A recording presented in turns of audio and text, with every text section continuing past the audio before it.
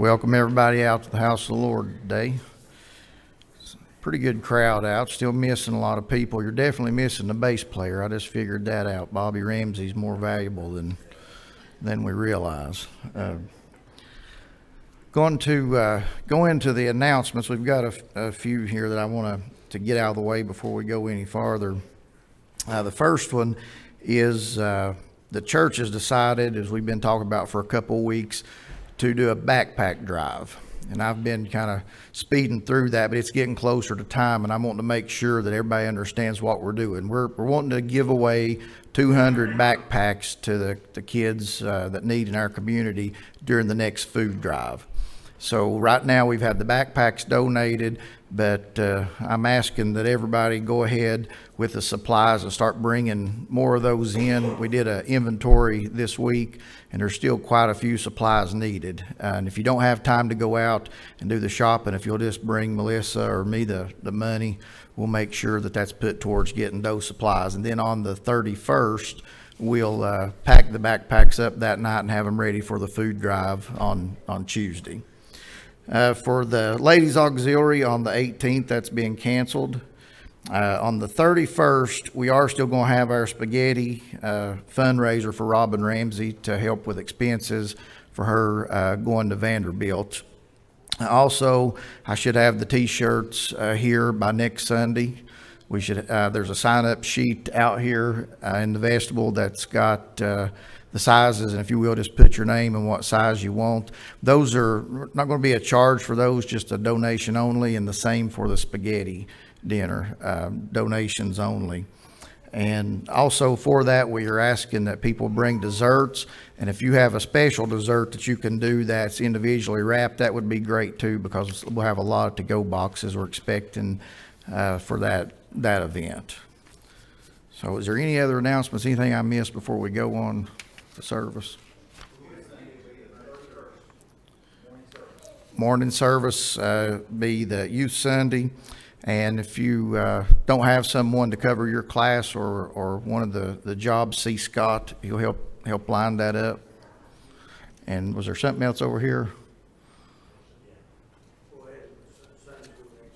Next Sunday, we'll resume with our regular uh, services, 10 o'clock Sunday school and uh, church at 11. So we'll go back to normal next week, and Wednesday night this week, still, still on 7 o'clock.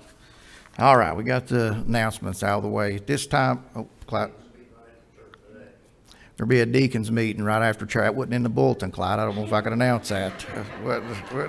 I'm sorry. You'll have to start getting with me. No, deacons meeting today, uh, right after church this morning. All right. Anything else? All right, it's time to go before the Lord in prayer, and we, we do have uh, a lot to be in prayer about. As I mentioned, we have several out today, a lot of sickness in our church. Um, Is there any spoken request?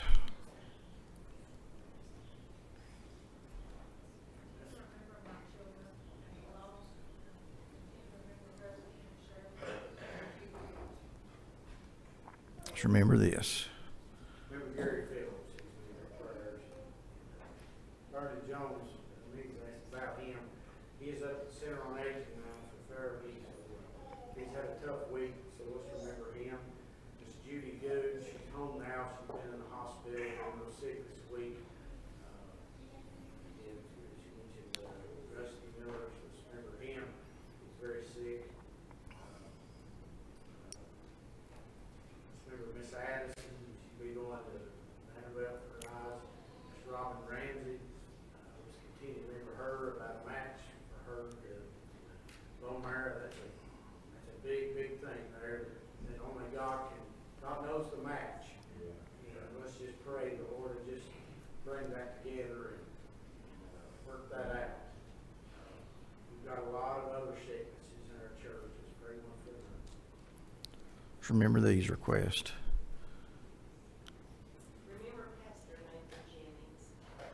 Nathan is not doing good at all. He's having a lot of, he's cluster migraines and he started having, um, seizures really bad. He's not doing good at all. He is definitely mental. Remember Nathan. Any other spoken request? Remember this.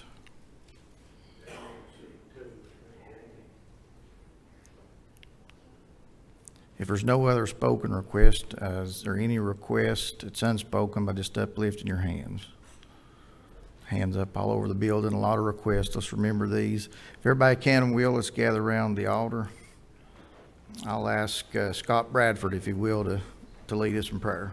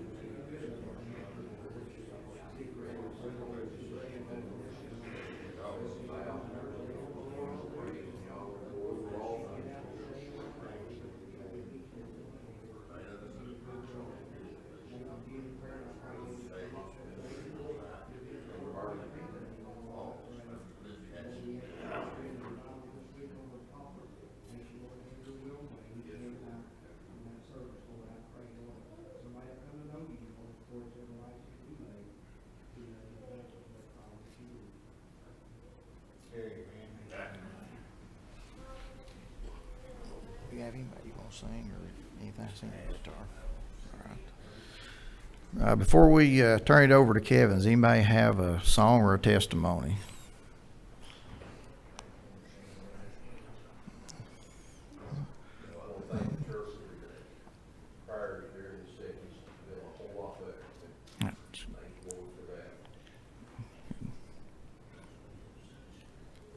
Any other testimonies or anybody have a song? Well, I just want to praise the Lord for being with me. I, I tell you, I'm getting a very sick person. Go up and test to go through, but I feel like I could probably go on top of the building and jump off right now. When I drove that parking lot, I just, little chills just ran off. me. I miss my church family. I'm watching as much as I can online. I'm so blessed and thankful to be back. We're glad to have you back. I know a lot of people Yep. are praying, praying for me, that text me, send me messages, call me, and I, I do appreciate it. Any other testimonies? All right, I'm going to turn it over to Kevin.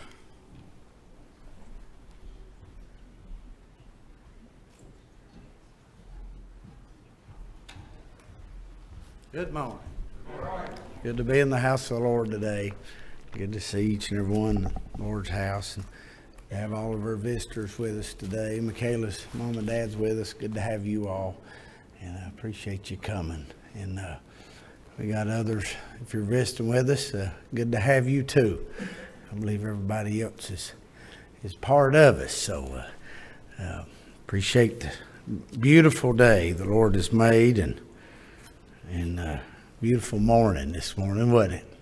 It Sure was. I hope you take the time to uh, to notice to notice things like that because it's. Uh, I mentioned it Wednesday night. It, uh, I believe sometimes we get too busy and we we don't notice the, the sunrise or the sunsets and the stars. Uh, it's uh, it'd be good for you to or start noticing stuff like that because it's uh, it's medicine. It's medicine, I promise you. But we do. We get too busy and and we uh, we we don't take the time to to just stop and and see the beauty that God is blessing with blessing us every day. Other blessings that we're missing out on just because we're not we're not paying attention. We got our mind on maybe our problems and what's going on and and uh, we're we're missing out on, on a lot of good things that if we just slow down a little bit and uh, I'm speaking by experience. All right. As the appetizer. Turn with me in Isaiah 40. Uh, it's very, very familiar scripture. Isaiah 40, verse 28.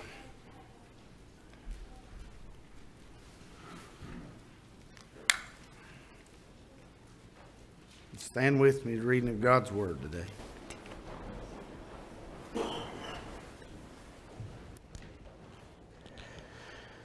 Isaiah 40, verse 28 Hast thou not known? Hast thou not heard that the everlasting God, the Lord, the creator of the ends of the earth, fainteth not, neither is weary? There is no searching of his understanding. He giveth power to the faint, and to them that have no might he increaseth strength. Even the youth shall faint and be weary, and the young men shall utterly fall. But they that wait upon the Lord shall renew their strength. They shall mount up with wings as eagles. They shall run and not be weary. They shall walk and not faint. Heavenly Father, we thank you for the reading of your word today. And God, we pray that you would just give us every thought and every word that needs to be said. You know each and individual heart today. You know the needs. And I pray, God, that you would just direct our uh, mind, Lord, and our lips today. And God, Lord, that you just uh, speak, Lord, to your people today. And we love you and we thank you. If there be one here, Lord, that, that, that don't know you as their Lord and Savior, I pray that you'd save them today. We love you. We thank you. In Jesus' name, amen and amen. Begin to think about uh, what's on my heart today is, is wait, wait on the Lord. It's worth the wait. Wait on the Lord. It's worth the wait. I believe the hardest thing for us to do is wait on the Lord. You've heard me say many a time.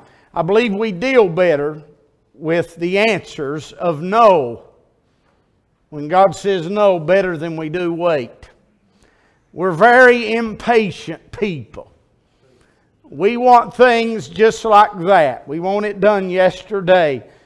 When we are in uh, maybe a, fi- find ourselves in a problem, we, we get anxious, and that, that the anxious feeling uh, causes us to feel an urgency of, of having something right now. Something has to be done right now.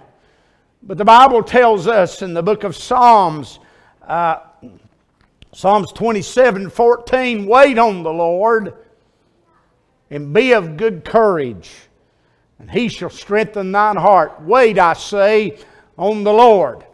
There is benefits in waiting on the Lord. I believe sometimes that uh, we, we maybe not realize what God is doing behind maybe the situation, but it is, it is needful for us to wait on the Lord. And it teaches us and it gives us the patience that we need. Romans 5, some more scripture. It says, Therefore, being justified by faith, we have peace with God through our Lord Jesus Christ. When you got peace with the Lord, you can wait. When you don't have peace with the Lord, it's hard to wait.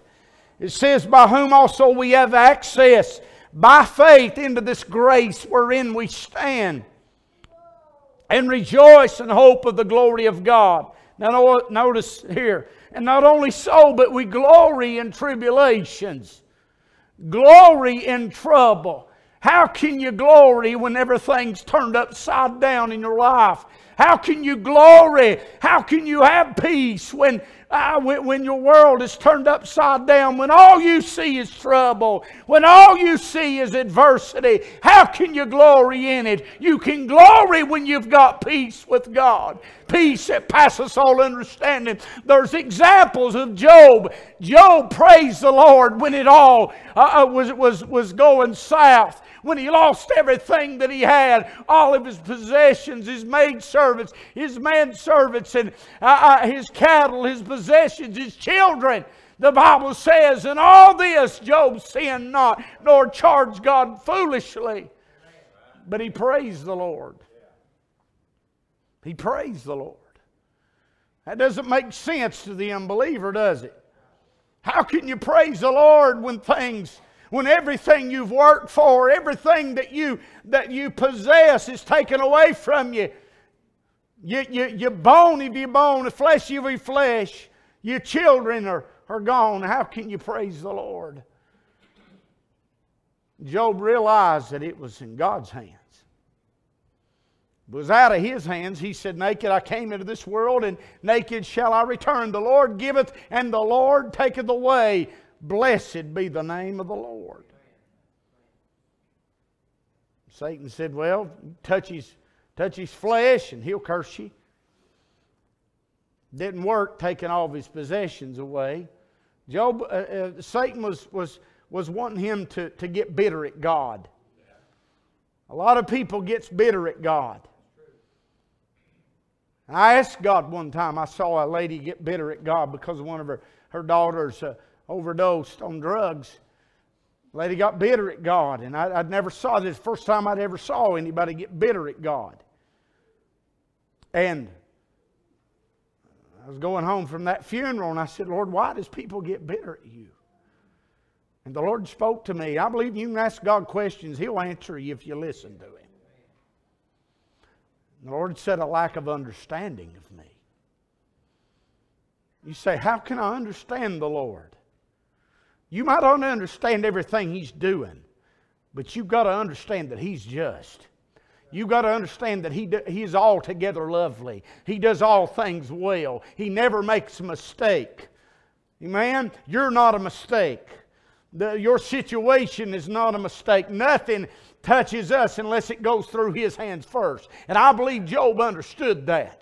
This is in God's hands. I'm praying for God's will. When you pray for God's will in your life, you need to trust him then. Right? Why should we pray God's will in our life and then when something happens and maybe God's got a plan through that, then why question God and say, God, I, I don't know why you're doing this. Why, what, what have I done? What have I done to deserve this? Why do I have to go through this punishment? Did it ever dawn on you that it might not be punishment, that God is using you to get glory out of your life? That's what our purpose is in life. Your purpose in life is not to, to, to be rich and make a lot of money and, and, and have a lot of fame and wealth and all this. Your purpose in life is for God to get glory out of your life that others may see Jesus in your life. Let your light so shine before men that they may see your good works and glorify your Father which is in heaven. Does that make sense? I believe sometimes we got our priorities wrong, and it's all about us. It's all about us being in a comfort zone. It's all, uh, all about us being uh, uh, having what we want and, and, and, and prospering and doing all these things. But if God, if you're not allowing God to use you and God's will to be done in your life, you're missing the mark. And here's the thing you're miserable too. We've all been out of God's will, right? It's a miserable feeling, ain't it? But you know what? I've noticed this. When you get your mind off yourself and get it on God, and you, you get to look into the Lord and say, God, in spite of what I'm going through, in spite of how I feel and how bad it hurts, God, if somebody can come to know you through my situation, Thy will be done. That's what Jesus prayed. He prayed his heart. The Bible tells us to make our prayers and supplications be made known to the Lord. God wants to know what's on your heart. He already knows before you ask Him, but He still wants you to tell Him on your account. But Jesus said, Father, if it be thy will, let this cup pass from me. Nevertheless, he prayed his heart because he is in the flesh. He was in, he was as much man as he was God, but he was as much man as he was God. Right? As much God as he was man. Right? And so he prayed, nevertheless. Not my will, but thine be done. In spite of what I want, God, I want what you want. Whatever your will is for my life, I want you to have your way. Now, God answers. We, we read in His Word where He spoke the word, and the centurion servant was, was healed in the self same hour. I mean, he had the faith. He said, I'm not, wor- uh, I'm not worthy for you to even come under my roof. But he said, I tell people to do this and do that, and they do it. But he said, just speak the word only, and my servant will be healed. The Bible says, in a self same hour, the man was healed. Jesus said, Never have I seen so great a faith, no, not in Israel. Well, uh, will you listen? God is still able to speak the word. He's still able. But if he don't, if he don't right now, we need to wait on him. I've had people tell me before, you know, when I was facing a storm, I, I, had a man tell me one time when Corbin was born with cancer that if we'd have the faith that, that, that it, would, uh, it would go away and he wouldn't have to take any treatments and all that would be over with if we had the faith. I struggled with that. I struggled with that. I was like, Lord, uh, this is taking a while. And Lord, is it because of my faith? Is it because of uh, uh, uh, uh my faith is weak or whatever? But I, I realize sometimes man don't know what God God's will is. Right? That man was just like us. He he he he. Uh, sometimes we all get wrong. Sometimes. But it was God's will for him to go through that for two over two years. But eventually we heard NED, no evidence of disease. But it took two years to get that, get there. And there's a long, a lot of long nights, sleepless nights, a lot of rough days that he had to face to get there to that point of two years. But eventually, deliverance came. Right? Let me say it like this Job, the Ministerial Association come by and they put their two cents in worth, his friends, and they said the wrong things. They meant well. I mean, some of them even tried to accuse him, say, Job, you're bound to do so, done something for this to happen. Job, you might as well just confess that you, you've done something for this to, to be brought on but they were wrong. God had a purpose. Job's latter end was greater than his beginning. And as for God's people, I promise you, your latter end is greater than your beginning. Amen? We might not see things happen the way we want to in this life.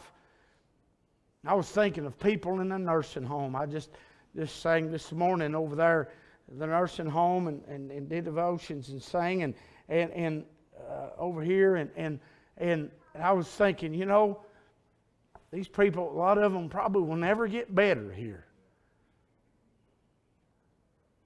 But I'm glad it ain't always going to be this way. Amen? If our healing don't come in this land, it's coming in a better land. And the Bible says if we had hope in Christ in this life only, we'd be of all men most miserable. If this was as good as it gets, it'd be miserable, wouldn't it? But I, we know better. We know the best is yet to come. Amen? The best is yet to come. My wife always said, when it seemed like in, in the toughest times, she'd say, This too shall pass. This too shall pass and it will. By the help of the Lord, this too shall pass. Wait on the Lord. That's the hardest thing for this flesh to do is wait on the Lord. Let me say, if you don't wait on the Lord, you'll make a wrong decision. Whatever the decision is, if you're not waiting on Him and you are hasty to make a decision and you just jump to the conclusion before God gives you the green light, then you'll make the wrong decision. I've done it. Hadn't you? We have. A lot of times we'll think we know what's best, and oh, we've prayed about it one time or maybe a couple times, and we the Lord hadn't answered, so we just go ahead and, and make the decision. And who are we to put a time frame on God? We do, don't we? We'll put a time frame. Lord, I need this by the end of the week. and maybe we, you know, there is a time frame in it, but God knows that. Trust me, He knows. He knows the time frame. His ways are not our ways. Neither His thoughts our thoughts. But His ways and His thoughts are higher than ours than the heavens or the earth. I believe He knows what He's doing, don't you? I don't believe I know. I know He knows what He's doing. He's trustworthy. If He's trustworthy to save you, He's trustworthy to keep you in everything that you face. If you've trusted Him to save you, I promise you, He's trustworthy to keep. Amen? It's not that God saves you and say, okay, you're on your own. No, that's not what grace is all about. God's grace is His unmerited favor. You've done nothing to deserve it, neither will you ever. He loves you and He cares for you. And through the storms, through these trials, through these tribulations, there's lessons to be learned. You think about it all, all your life. Push rewind. It's a good time. When you get overwhelmed, push rewind in your life. And you think about of all the things that God has done in your life. You know, the times that you felt hopeless, kind of like you maybe do right now, and you feel like that God has, has, has forgotten you, and you feel like God's a million miles away.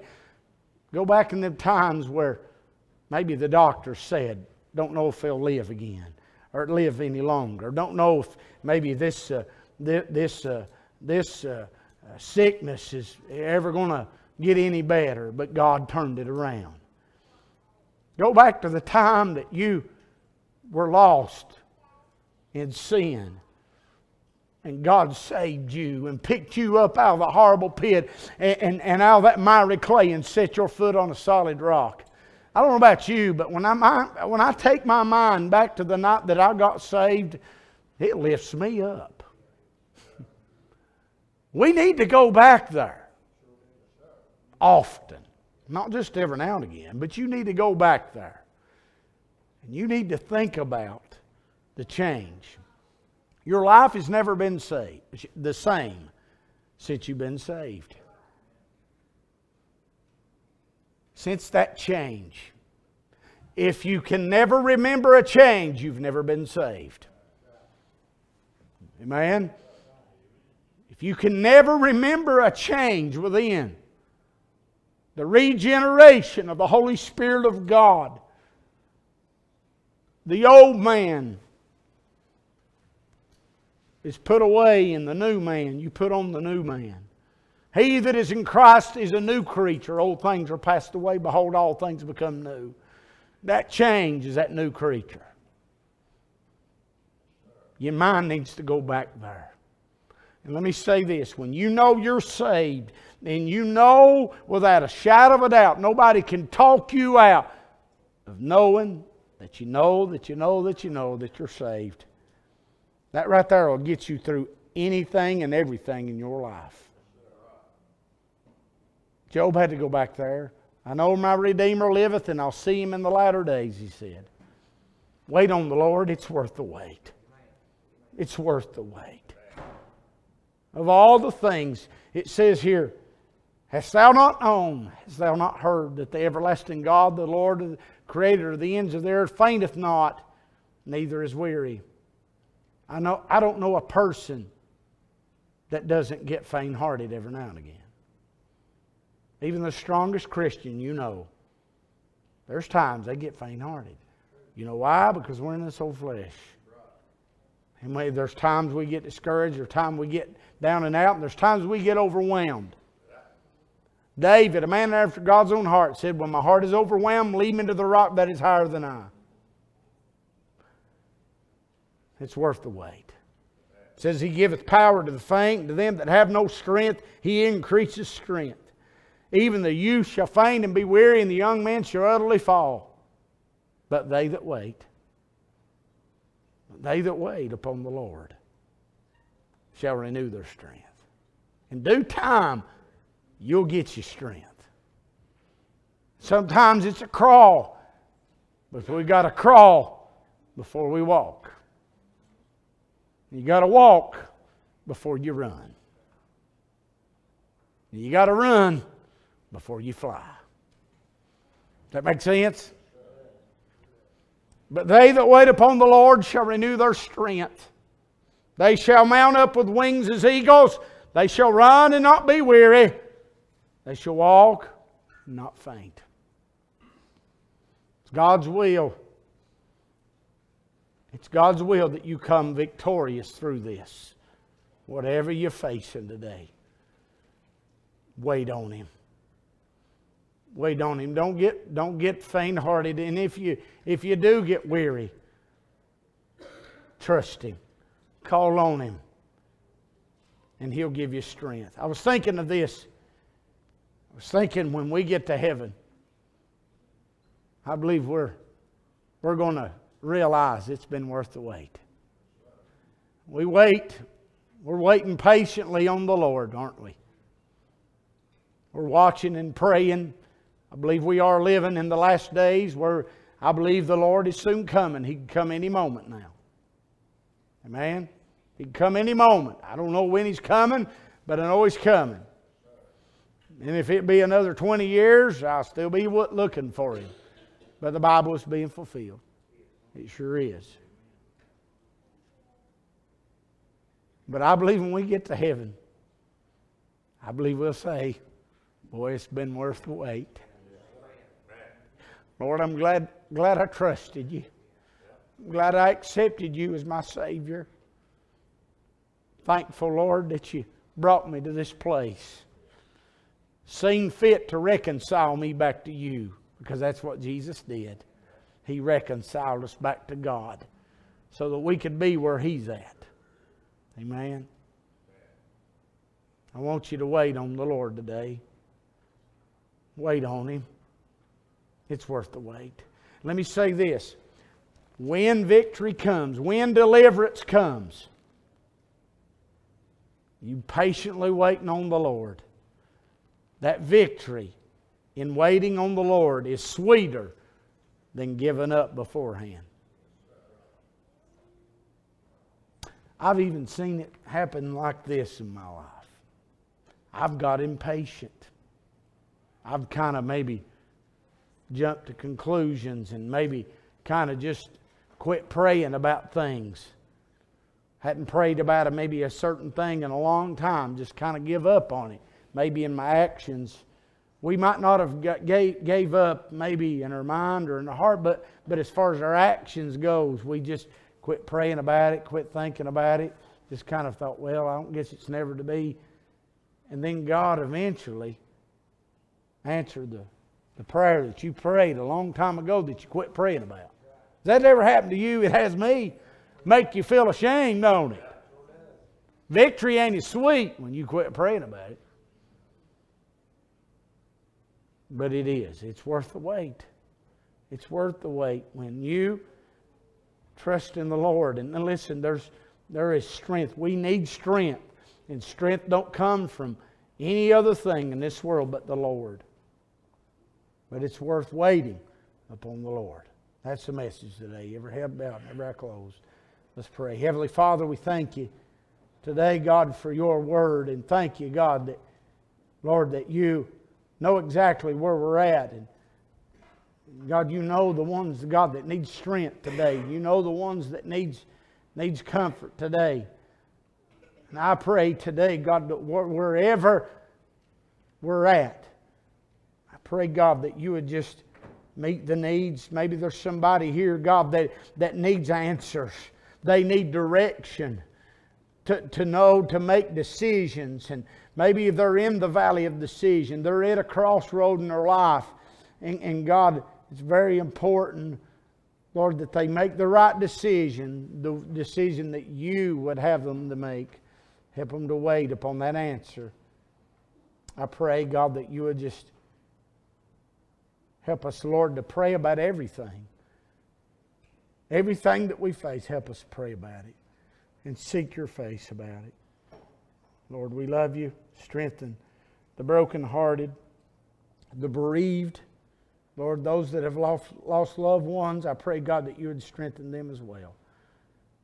Lord, be with each one today, I pray. If there be one here lost under the sound of our voice, Lord, that's lost and needs you, I pray, God, that you would just speak to their heart and help them to realize they cannot make it through life without you.